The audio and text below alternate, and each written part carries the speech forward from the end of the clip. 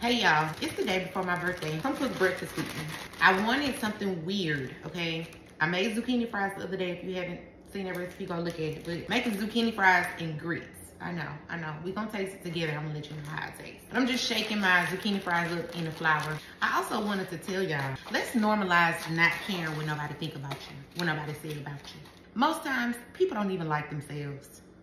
And them talking about you is really just projection of how they feel about themselves. Especially when you haven't done anything to them. At that point, the only thing that matters is what you think and feel about yourself. Because me, I'm an Aquarius. I don't give a fuck. So build yourself up. Say good things to yourself. Think good things about yourself. Hmm. This right here. Good combination.